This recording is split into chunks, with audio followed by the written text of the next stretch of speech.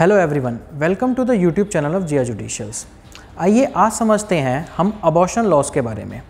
क्या कहता है हमारा कानून अबॉर्शन के बारे में? क्या अबॉर्शन लीगल है? या हमारे लॉ में अबॉर्शन इलीगल है? अबॉर्शन होता क्या है?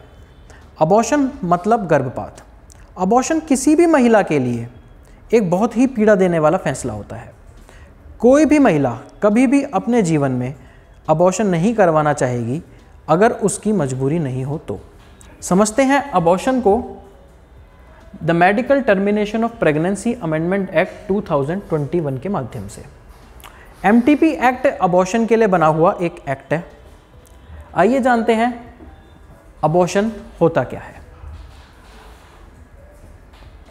अबॉर्शन का मतलब होता है end of pregnancy by using surgery और टेकिंग मेडिसिन मेडिकल ट्रीटमेंट के द्वारा प्रेगनेंसी को ख़त्म करना। मेडिकल ट्रीटमेंट द्वारा गर्भपात करवाना अबॉर्शन कहलाता है। अबॉर्शन की ज़रूरत क्यों पड़ती है? अबॉर्शन की ज़रूरत मैंने आपको बताया, कोई भी महिला मजबूरी में ही अबॉर्शन करवाएगी। वो मजबूरियाँ क्या हो सकती हैं? मेडिकल रीज़न हो सकते हैं कि उसकी बॉडी अभी बर्थ करने के लिए कैपेबल नहीं है। उस वुमेन की जान को रिस्क है, अगर वो प्रेग्नेंट होती है और बच्चे को जन्म देती है तो। मेंटल कंडीशंस हो सकती हैं कि प्रेगनेंसी की वजह से वो एंग्जाइटी से स्ट्रगल कर रही हो, महिला, और वो अभी मेंटली उस बच्चे के लिए प्रिपेयर नहीं हो। फाइनेंशियल कंडीशंस हो सकती हैं कि वह अभी फाइनेंशियली बच्चे की परवरिश अफोर्ड नहीं कर सकती। रिलेशनशिप इश्यूज़ हो सकते हैं मतलब उस तरह की रिलेशनशिप में वो महिला नहीं थी कि उस बच्चे को एक स्टेबल फैमिली प्रोवाइड कर सके।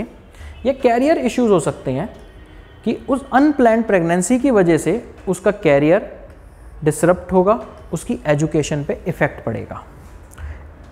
इसी तरह की सिचुएशंस में अगर कोई महिला अपने बच्चे को अबॉर्ट करवाना चाहे तो अबॉर्शन करवाने के लिए हमारे लॉ में कौन से प्रोविजंस दिए हुए हैं? वैसे अबॉर्शन एक इलीगल ऑफेंस है। आईपीसी के सेक्शन 312 में और सेक्शन 314 में अबॉर्शन के लिए अबॉर्शन को क्रिमिनलाइज किया गया है। सेक्शन 312 बताता है कि अगर कोई वॉल्टरली मतलब जानबूझ के किसी महिला का बच्चा मिसकैरेज करता है अबॉर्शन करवाता है, कोई भी मेडिकल प्रैक्टिशनर या कोई भी डॉक्टर तो वो सेक्शन 312 में पनिशेबल ऑफेंस है, जिसकी सज़ा सात साल तक है। ऐसे ही सेक्शन 314 में बताया गया है कि उस अबॉर्शन के दौरान अगर वुमेन की डेथ कॉज होती है तो लाइफ इम्प्रिजनमेंट तक की सज़ा है। बट ये बात हुई वॉलेंटरीली उस महिला की कंसेंट के बिना। बट क्या अगर महिला की कंसेंट है तो वो अबॉर्शन करवा सकती है, और करवा सकती है तो कहाँ प्रोविज़न गिवन है कि वो अबॉर्शन करवा सकती है? तो देखते हैं 1960s तक तो अबॉर्शन क्रिमिनलाइज था। 1960 तक हमारे पास अबॉर्शन के लिए कोई भी लॉ नहीं था एम भी नहीं था। 1960 में गवर्नमेंट को रियलाइज़ हुआ कि हमें अबॉर्शन के लिए एक लॉ लाना चाहिए, जिसके लिए शांतिलाल शाहजी कमेटी का गठन किया गया।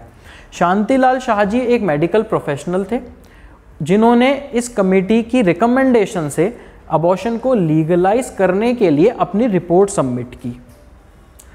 1964 में कमेटी ने रिकमेंड किया कि अबॉर्शन लीगलाइज होना चाहिए और सेफ़ गार्ड्स को ध्यान में रखते हुए अबॉर्शन करवाया जा सकना चाहिए। देखिए अबॉर्शन तो पहले भी होते थे बट वो काफ़ी अनसेफ होते थे और इलीगल तरीके से होते थे, जिसकी वजह से मैटरनल मोर्टेलिटी रेट काफ़ी कम हो रहा था, जिसकी वजह से चाइल्ड और वुमेन की मदर की, दोनों की जान को बहुत खतरा रहता था। तो सेफली अबॉर्शन करवाए जाएँ, जहाँ उनकी ज़रूरत है, उसके लिए इस कमेटी ने रिकमेंड किया और इस कमेटी की रिकमेंडेशन को देखते हुए हमें मेडिकल टर्मिनेशन एक्ट 1971 मिलता है। Medical termination act 1971 first April 1972 को फोर्स में आया था। Medical termination act MTP act बात क्या करता है? MTP एक्ट उन सिचुएशंस की बात करता है, जहाँ पे रजिस्टर्ड मेडिकल प्रैक्टिशनर अबॉर्शन करने के लिए अलाउड हैं ऑथोराइज्ड हैं। और वो उन सिचुएशंस को हाईलाइट करता है, जहाँ पे प्रेगनेंसी को टर्मिनेट किया जा सकता हो। वो टाइम पीरियड भी मेंशन करता है कि प्रेगनेंसी को टर्मिनेट किया जा सकता है। MTP एक्ट 1971 में देखिए 12 वीक्स से लेके 20 वीक्स तक का टाइम पीरियड मेंशन है। कि अबॉर्शन को 20 वीक्स तक किया जा सकता है। अब इसके बाद इसमें अमेंडमेंट आ चुकी है, जिस अमेंडमेंट की बात मैं स्टार्टिंग में कर रहा था अमेंडमेंट एक्ट 2021 तो हम अमेंडमेंट एक्ट के थ्रू इसको समझेंगे, पर पहले देखिए 1971 वाले एक्ट में 20 वीक्स तक का टाइम पीरियड गिवन था। और उसमें मेंशन है if pregnancy is caused by rape और result of any failure of any device method used by any married women married women 1971 में मेंशन है मैरिड वुमेन मतलब 1971 कहता है कि अगर मैरिड वुमेन की अनवांटेड प्रेगनेंसी होती है डिस्पाइट उन्होंने वो प्रेगनेंसी नहीं चाहिए थी तो उसको अबॉर्ट किया जा सकता है.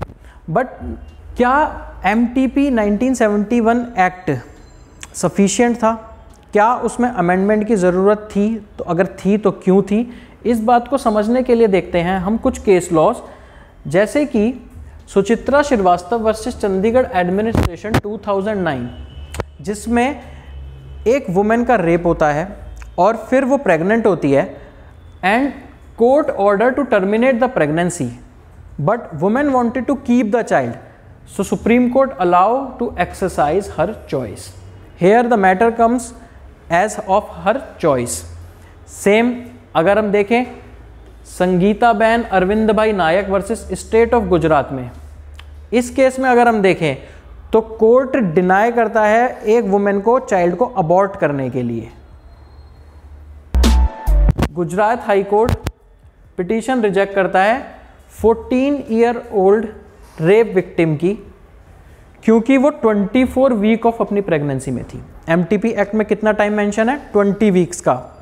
विक्टिम को कितना टाइम हुआ था? 24 वीक्स तो according to law she was not allowed to abort the child क्योंकि कोर्ट ने भी डिसाइड किया कोर्ट ने भी देखा कि वो उसके लिए इतनी फिट नहीं है, उसकी जान का खतरा हो सकता है। तो कोर्ट ने उसको 24 वीक्स और एज पर लॉ में जैसे 20 वीक्स गिवन है तो उसे अलाउ नहीं किया। बट सुप्रीम कोर्ट ने वो डिसीज़न स्ट्रक डाउन करा और under proper guidance of a medical practitioner supreme court allowed that teenage girl to abort the child और जब सुप्रीम कोर्ट ने अलाउ किया, तब वो 28 वीक्स की प्रेग्नेंट थी। तो 1971 एक्ट के 20 वीक्स से भी ज़्यादा 8 वीक्स ऊपर सुप्रीम कोर्ट अलाउ करता है। तो यहीं से हमें लगता है पता कि 71 वाले एक्ट को भी अमेंड करने की ज़रूरत थी। उसमें भी कुछ कमियाँ थी, जिसको, जो वुमेन की फ्रीडम ऑफ़ चॉइस को रोक रही थी, जो वुमेन को लिमिट कर रही थी कि married women only married women's are allowed to abort the child इसीलिए ईयर 2021 में एमटीपी एक्ट 1971 फाइनली अमेंड होता है। लोकसभा में बिल इंट्रोड्यूस होता है और पास होता है 17 मार्च 2020 में। राज्यसभा में सिक्सटीन मार्च 2021 में पास होके प्रेसिडेंट की एक्सेंट मिलती है 25 मार्च 2021 में। ये डेट काफ़ी इंपॉर्टेंट है। एग्ज़ाम पॉइंट ऑफ़ व्यू से याद रखिएगा। एम अमेंडमेंट एक्ट 2021 में चेंजेस क्या हुए? आइए देखते हैं। सेक्शन थ्री सबसेक्शन टू के क्लॉज बी में 20 वीक्स को 24 वीक्स तक पीरियड बढ़ाया गया। और 24 वीक्स किन वुमेन की कैटेगरीज पे एप्लीकेबल होता है? वो कैटेगरीज रूल थ्री बी में मेंशन की गई, जो मैक्सिमम 24 वीक्स का पीरियड जस्टेशन पीरियड इंक्रीज किया है। वो किन वुमेन्स के लिए इंक्रीज किया है? जो वुमेन सर्वाइवर हैं सेक्सुअल असॉल्ट की, जो वुमेन इंसेस सफरर्स हैं विडोज हैं डिफरेंटली एबल्ड हैं या माइनर्स हैं। मतलब उन स्पेशल सर्कमस्टेंसेज में 20 वीक्स के अलावा 24 वीक्स तक एक वुमेन को अधिकार है चाइल्ड को अबॉर्ट करने का। 1971 में जहाँ 12 वीक्स का टाइम था, वहीं 2021 में उसको 20 से 24 वीक कर दिया गया। जहाँ दो डॉक्टर के ओपिनियंस के लिए 20 वीक्स का टाइम था, वहाँ पे मेडिकल बोर्ड की परमिशन कर दी गई। अगर 20 वीक्स के ट्वेंटी फोर वीक्स के बियॉन्ड भी अबॉर्शन करवाना है तो। मतलब जहाँ सबके लिए 20 वीक्स था, वहाँ पे 20 टू 24 वीक्स और बियॉन्ड 24 वीक्स कर दिया गया एमटीपी अमेंडमेंट में। इसी अमेंडमेंट के बाद एक केस आता है, काफ़ी इंपॉर्टेंट केस है, जो इस अमेंडमेंट एक्ट पे बेस्ड था। वो केस है आपका X versus principal secretary health and family welfare department 2022 जिसमें हमारे honourable chief justice D Y Chandrachud भी थे, जिसमें J B Pardiwala ji and A S Bopanna ji भी थे, जिसमें हेल्ड किया गया कि every women has right of safe and legal abortion up to 24 four years of pregnancy 20 weeks का 24 वीक्स और जजमेंट में हेल्ड किया 24 weeks no matter of their marital status ये काफ़ी इंपॉर्टेंट बात है। जो एम एक्ट 1971 में मैरिड वुमेन के लिए था, वो अमेंडमेंट के बाद हो गया irrespective of their marital status because court has set distinction between married and unmarried women was artificial and constitutionally unsustainable मतलब अगर मैरिड और मैरिड वुमेन में डिफ्रेंशिएट किया गया, उसके, उस राइट के लिए जो उसके लिए ऑलरेडी बहुत डिफ़िकल्ट है। तो ये कॉन्स्टिट्यूशनली अनस्टेबल भी है। इसीलिए इस तरह की प्रोविज़न को नहीं रखना चाहिए लॉ में। वुमेन चाहे वो मैरिड हो, चाहे वो अनमैरिड हो, उसको अधिकार होना चाहिए अपनी चॉइस से चाइल्ड को अबॉर्ट करने का। तो आई होप आपको एमटीपी एक्ट की अमेंडमेंट अबॉर्शन से रिलेटेड समझ आई होगी। आई होप आपको क्लियर हुआ होगा कि क्यों अमेंडमेंट लाई गई थी और अबॉर्शन लॉस हमारे क्या कहते हैं। इसी तरह की फर्दर इन्फॉर्मेटिव वीडियोज़ के लिए हमारे चैनल को सब्सक्राइब ज़रूर करें। Thank you